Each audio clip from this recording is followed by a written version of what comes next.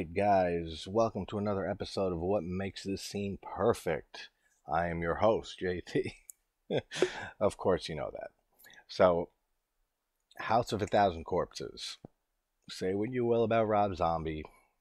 I think he, he went way downhill after Halloween, the Halloween movies. Very, very sad because I saw this movie when it came out in 2003. I saw it maybe like two, three years later. I remember it was coming out and I was excited for it. Then I kept forgetting it was coming out. Totally forgot that it came out. I then saw it in college, my first semester of college, with like a group of friends. Long story, but we watched it several times in the mind state you shouldn't. Had no idea what was going on, and then we finally watched it semi normal, and we were like, dude, this movie's the shit.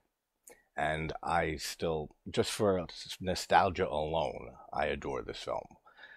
I think The Devil's Rejects is his best film. I think it's a better film than this, but this is my favorite, like, and it always will be. Lords of Salem is was ambitious. He tried some unique things there, but it doesn't really work for me. It doesn't stick. 31 is awful didn't like that at all. I haven't seen the Munsters, so I can't comment, but I've heard mixed things as usual with him.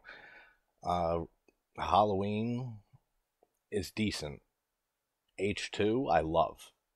Fuck you. it's an uncommon opinion, I know, but I, I love H2. I think it, it's a brutal, awesome slasher film, but whatever. And what else has he done? That's it, right? Probably have one more that'll come to me, whatever, but it's not worth remembering. So, oh, Three from Hell, which it should have been made a decade earlier. Like, is the the first of its problems, but whatever. We won't get into that. But this whole scene in this movie, the like the third time I saw it, like the first like real like sober time. This is the scene that made me say to myself that this is fucking great. Like this is fucking a great horror film so far, and like this scene is fucking amazing. And Rob Zombie might be able to like make some great movies, and he did. Like at least this one and the next one for me, and H two. But it's the whole scene when the sheriff, uh, White, when Sheriff Wydell and his partner and Denise's father show up to the Firefly house. And we get that long scene in slow motion set to Slim Whitman in I Remember You. And just the whole way that it's shot, the way the music choice alone is brilliant. And just like everything, every fucked up thing that we see in slow motion, and just like the horrors that these people see. And just it's it's so well choreographed it's so well executed and it's damn effective. Like it really is. I adore this scene and i think it's a perfect scene. So let's see why this scene is perfect. See now i always say you ever come across a house that has a whole bunch of dolls or decapitated dolls or doll heads nailed to them like nailed to the door or the outside of the house. You fucking never go to a house like that, first of all. So don't ever do that. But that's what they're doing. They're knocking on the door, and then Karen Black is awesome, like as always.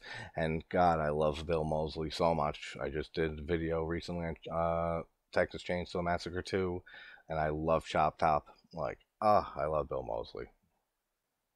And then as Sheriff Wydell is too trusting, as um, his brother says in The Devil's Rejects.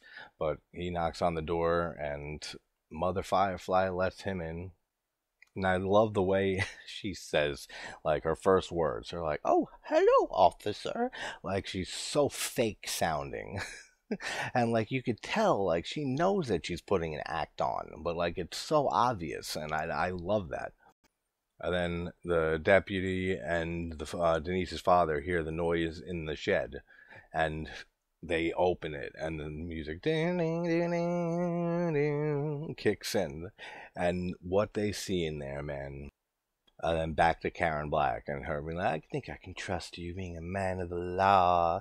And then he comes in to talk to her, and that's when they bust it open and they just see uh, Mary in there, like in her panties and stuff. But then they see naked people that naked women that have been dead for who knows how long, all over the tables in there, chained up in, in this like up to the ceiling absolutely gruesome, man. So much so that the deputy starts puking right then and there. Like, can you imagine the stench? Can you imagine the smell? Just the smell alone, let alone everything else that you, you, what your eyes are trying to take in, what you're trying to process. Like, Jesus Christ. Uh, then he goes to call Wydell, and Wydell stupidly, I mean, he turn, he lets his eye off of this woman goes to look on the walkie-talkie, talk to walkie-talkie, and boom, gets shot right through the fucking, right through his. Uh, I, think, I always forget if it's his head or if it's his neck. His neck, but whatever. He's dead. Is the fucking point. And then just the music is so perfect for this scene. It's not even funny. Like Rob Zombie does have a great. What's the word I'm looking for? He does have a good talent for picking the right soundtrack for a scene, the right song for a scene, or like his soundtracks for a lot of his movies in general are very good. And then we see Otis come out with the cowboy hat. And he's fucking, and I, it's sad, man, but I love how when uh, Denise's father gets shot, you see like memories of him and Denise and his wife and stuff. I guess who's dead, but like pa- passing like right in front of his eyes, and you see that quick little flashback. That's sad, but it's very effective. Uh, then when he just gets on his knees, the deputy, and Otis is, puts his gun up against him, uh, then he holds it for so long. like he really like this it's so drawn out to the level of just like it's right when it gets close to when he finally pulls the trigger you're saying like all right like please just do it already like we know it's going to happen uh, then he does he pulls the trigger and it just and it's like he falls to the ground and then the birds like fly out of the sky out of the trees into the sky. Awesome. Like perfect scene for me and what really made me think for the first time that zombie has made a great film so far here and can make other even maybe even better ones. And he did in my opinion with devil's rejects. But all right guys i will see you at the stream in a half hour for frankenhooker with dave and sean. So wherever you're from hoping you're having a good night or day and i will talk to you soon. Take care everybody